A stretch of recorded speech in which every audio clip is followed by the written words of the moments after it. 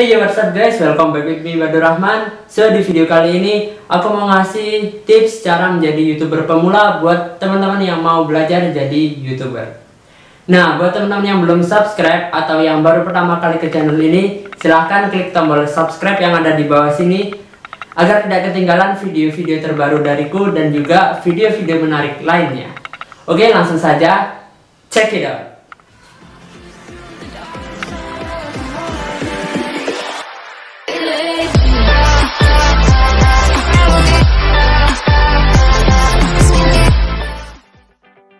Poin yang pertama yaitu menentukan tema atau konten video kita.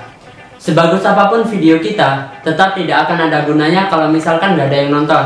Nah, oleh karena itu, pertama-tama yang harus kita lakukan adalah menentukan siapa audiens atau pendengar kita. Rata-rata orang menonton YouTube karena dua alasan. Yang pertama, karena mereka ingin melihat konten yang mengedukasi, dan yang kedua, karena mereka ingin melihat konten yang menghibur. Tentu saja kita bisa membangun channel yang melakukan keduanya secara bersamaan, yaitu membuat konten edukasi dan menghibur.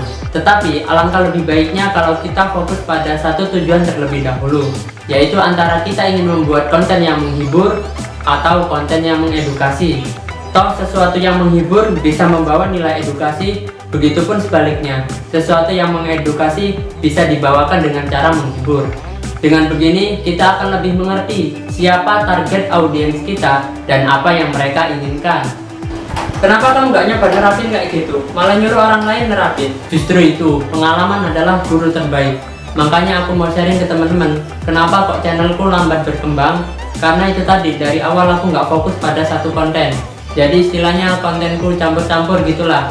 Nah, sekarang itu YouTube lebih memprioritaskan channel yang fokus pada satu konten untuk youtuber pemula kecuali youtuber yang udah gede ya. Karena mereka sudah memiliki audiens.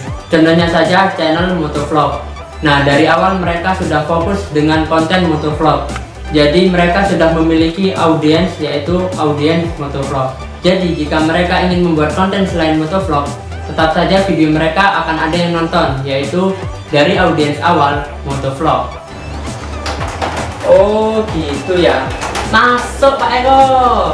Itulah pentingnya mengapa kita harus memiliki audiens atau penonton video kita. Poin yang kedua, membangun subscriber secara natural. Setelah kita menentukan konten video kita, langkah selanjutnya yaitu membangun subscriber.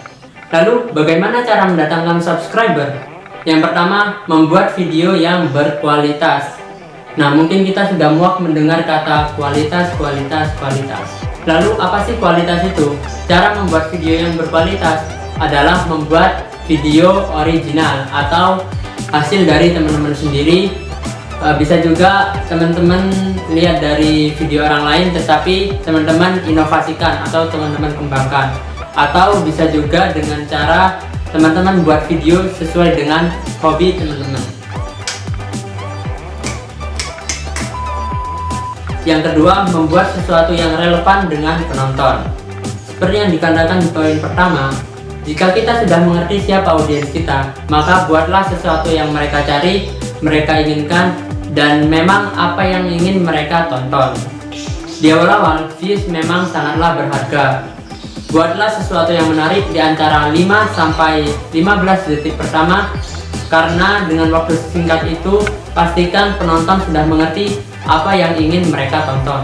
Ingat, kita bukan youtuber terkenal yang memiliki ratusan ribu subscriber dan juga bukan anak presiden atau artis. Jadi kita tidak bisa membuat sesuatu yang sembarangan atau random lalu mendapatkan views begitu saja. Tidak semudah itu Ferguson. Yang ketiga, optimasi judul dan gambar thumbnail video. Beberapa youtuber pemula sangat menyepelekan hal ini, padahal efeknya sangat berpengaruh. Bagi mereka yang tidak memiliki audiens sama sekali, maka judul dan thumbnail adalah satu-satunya cara agar video mereka bisa dilihat. Berikan waktu untuk mengoptimasi judul dan juga gambar thumbnail kita. Hampir 90% orang ngeklik video karena melihat judul dan gambar thumbnail video tersebut. Tapi ingat, jangan sampai kita membuat judul dan juga gambar thumbnail tidak sesuai dengan isi video kita atau biasa disebut dengan clickbait. Karena reputasi awal adalah segalanya. Jangan sampai kita hancurkan itu karena hanya sebuah video clickbait. Yang keempat, mulai dari lingkaran sosial kita. Cara terbaik untuk mendapatkan penonton, khususnya pada saat baru memulai, adalah dengan mendistribusikan konten kita ke teman-teman atau lingkaran sosial terdekat kita atau bisa juga melalui sosial media seperti Line, Facebook, Instagram, Twitter, dan lain-lain. Dan perlu diingat, jangan melakukan spam di sosial media dan juga forum. Karena YouTube sangat membenci spam, khususnya dari sosial media. Ada kemungkinan juga jika kita melakukan spam, maka akun kita bisa kena banned karena telah melanggar aturan ini. Biarkan penonton datang secara natural. Walaupun makan waktu yang agak lama, namun memang begitulah caranya.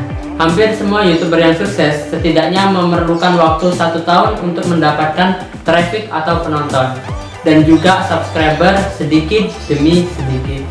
Konsistensi pertumbuhan perlahan jauh lebih baik daripada ledakan traffic sesaat yang tiba-tiba hilang begitu saja. Yang kelima, kolaborasi dengan teman atau youtuber lain. Tujuan utama kolaborasi adalah men-share video-video kita agar lebih luas dan tentunya saja itu berpotensi untuk mendatangkan subscriber-subscriber baru. Yang keenam, balas komentar di video kita dan juga memberikan komentar di video youtuber lain. Ini adalah hal yang sangat simpel. Youtuber-youtuber yang sudah sukses pada awalnya juga melakukan hal ini. Mereka membalas setiap komentar yang ada di videonya dan juga memberikan komentar pada video YouTube orang lain. Dengan ini kita bisa membangun interaksi positif dengan penonton dan juga YouTuber-YouTuber yang lain. Poin yang ketiga, optimasi tampilan dan deskripsi channel YouTube kita. Mungkin masih banyak YouTuber-YouTuber pemula yang belum tahu cara mengoptimasi channelnya sendiri. Padahal ini sangat simpel dan mungkin justru sangat penting. Yang pertama, buat deskripsi di bagian about tentang apa konten di channel kita dan juga intro singkat yang mungkin perlu kita sampaikan. Yang kedua, koneksikan channel YouTube kita dengan akun sosial media atau website yang kita miliki dan juga kontak email. Yang ketiga, pasang header di bagian home channel kita dan juga kalau perlu kasih video di tampilan awal channel kita supaya audiens semakin tertarik dan juga subscribe channel kita. Yang keempat, jika kita sudah memiliki banyak video, maka kategorikanlah video-video tersebut ke dalam playlist supaya memudahkan penonton untuk melihat daftar-daftar video yang telah kita buat. Dan yang tidak kalah penting adalah optimasi setiap video di bagian judul, teks, dan deskripsi atau biasa disebut dengan SEO. Buatlah senatural mungkin dan juga sesuai dengan isi video kita. Poin yang keempat, membangun kualitas views. Pada awal karir YouTube kita, setiap views dan subscriber sangatlah penting. Jangan sia-siakan setiap orang yang datang ke channel kita. Buatlah konten yang berkualitas secara rutin atau bertahap. Channel kita akan sangat beresiko dan sulit berkembang jika kita hanya mengupload video sebulan sekali. Jangan kayak channel ini. Jangan kayak channel ini. Karena faktanya, orang sering mudah lupa dengan channel yang tidak sering update. Normalnya buatlah konten 1 sampai 2 kali seminggu atau mungkin bisa lebih, mungkin bisa sehari sekali update. Itu malah justru lebih bagus. The more you make, the more people will find you. Dan yang terakhir, terima masukan atau feedback dari penonton kita. Bermacam-macam komentar pasti akan datang. Mulai dari yang bersifat trolling, itu bisa kita abaikan ada yang bersifat negatif, ada juga yang bersifat membangun. Memiliki orang yang mengkritik atau mengomentari video kita jauh lebih baik daripada orang yang tidak mengomentari sama sekali. Itu tandanya mereka masih peduli dan perhatian terhadap karya-karya kita. Dan yang lebih penting lagi, jangan takut untuk berkarya kepada para subscriber kita. Sebagai YouTuber, kita harus berkomitmen untuk memberikan konten yang dibutuhkan oleh subscriber kita. Teruslah dekat dengan subscriber kita karena dengan mereka lah kita bisa sukses. Itulah 5 poin yang bisa membangun channel YouTube yang sukses. Ya, pada dasarnya praktek bisa saja tidak semulus dengan teori. Karena itu, untuk memaksimalkan potensi YouTube kita, tentunya dengan mencoba sebanyak-banyaknya cara yang telah kita ketahui. Perhatikan analistiknya dan fokuskan pada yang memberi hasil terbaik. Sekarang tinggal penonton yang mengambil tindakan. Because YouTube, broadcast yourself.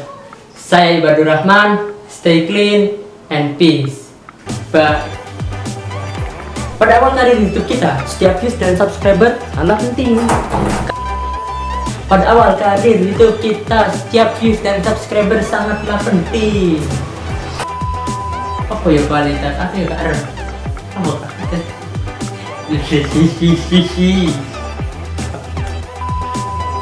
Membuat video yang berkualitas yaitu membuat konten yang original. Begitu. Fat menentuk